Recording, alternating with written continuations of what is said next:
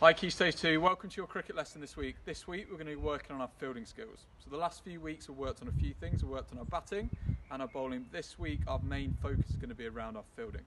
Fielding is so important in cricket. It's going to be the thing you do the most when you start playing in games. Alright, so it's important you love it, you work hard, but also you enjoy your fielding as well. Alright, so throughout the video I'm going to show you three different things. I'm going to show you how to catch, how to throw and also how to work on your ground fielding as well and a lot of the drills I show you, you can do them at home so please do send your videos into the sports account and we can put them on the social media platforms. Alright, the first thing we're going to work on is our catching. Very simple point, use two hands when you catch. That's the first point. Second point, try and be, make sure you're nice and balanced when you catch. Your knees are bent, your back is straight and your hands are ready. And the third point, very simple, but try and watch the ball into your hands. Alright, if you do that, there's more chance of you catching the ball. Right, we'll do a very simple drill to start with. All right, our knees are going to be bent, my back is straight.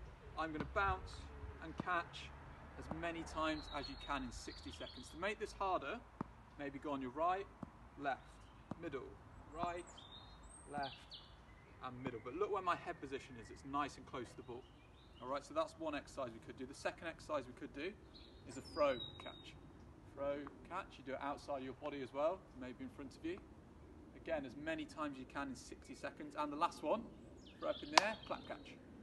Clap catch. You can go outside of your body, clap catch. Clap catch. Again, as many times as you can in 60 seconds. But I think the key thing is when you're when you're catching the ball in cricket is to watch the ball into your hands. All right. If you have space in your garden or in the park, you can maybe do some running and catching as well, and also a little, little bit more high catching as well. All right. So there's lots of things you can do at home. The next thing we're going to work on is our throwing techniques. All right. So throwing in cricket again is really important. You will do lots of throwing as a fielder. I'm just going to talk about your position when you throw. Again, I mentioned a lot about creating a base and being balanced. This is the position I want to see when you're throwing.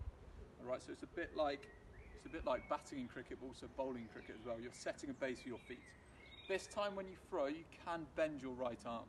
All right, so when you bowl, you keep it straight. When you throw the ball when you're fielding, you can bend your arm to get a little bit more power and a little bit more accuracy as well. All right, so let's let me just demonstrate again. I'm in a balanced position with my feet and my body left arm, right arm is going to come through nice and fast. That's where I'm going to get my power from. A drill you can do at home. Let me just get set stumps. I'm just going to put them over here.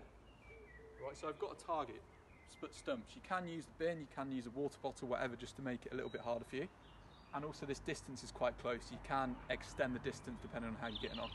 Get in position, create that base, and throw the ball. All right, I've hit the stumps, but I am quite close, but you can just change the distance. All right, so you can work on your throwing at home. The last thing we can work on is our ground fielding. So ground fielding is when the ball has been hit to you by a batter, your job is to stop the ball. I'm going to show you two techniques you can use. First technique, you can use a long barrier. All right, so a long barrier is this position here. So if the ball gets hit to you really, really hard, all right, and you're going to struggle to stop the ball, or it's going to be quite hard for you to stop the ball, this is the position I want to see. All right, so I'm in a good position. My right foot is facing that way. My left knee is on the floor and my hands are ready to stop the ball. All right, if I miss the ball now, it might bobble up, it's gonna hit a part of my body, which means you're still gonna save the runs. All right, so this is a good position to be in when you're stopping the ball and using a long barrier. All right, so that's position one. Position two, we're gonna work on a two-handed pickup, but this time you're attacking the ball. All right, so I've got a static ball here, ball's gonna be still. Start up a little bit further back. I'm now gonna pick the ball up with two hands. Okay, look at my position again. My knees are bent, my bum is to the ground, my head is over the ball, and I'm watching the ball into my hands. Let me just show you again. So we've got the long barrier. You're going to use this when the ball's been hit hard at you. And you've got the two-handed interception, two-handed pickup. All right, and that allows you to throw. All right, so I've showed you quite a few things. I've showed you how to catch, how to throw, and also how to stop the ball when we're fielding.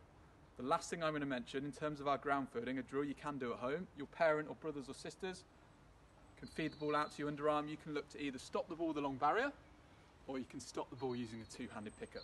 All right, so have a little go at home.